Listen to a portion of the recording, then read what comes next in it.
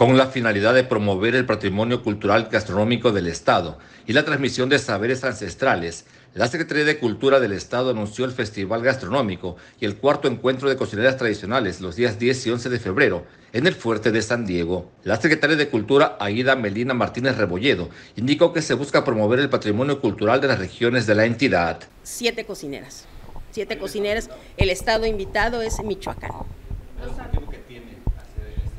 Sí, fortalecer. Primeramente seguir preservando y fortaleciendo la cocina guerrerense. Y la cocina guerrerense como parte del patrimonio cultural que es la cocina mexicana. Este año, el estado invitado es Michoacán. Va a haber exposición de platillos y también venta para pues, el público que así desee consumirlo. Así que los seguimos invitando.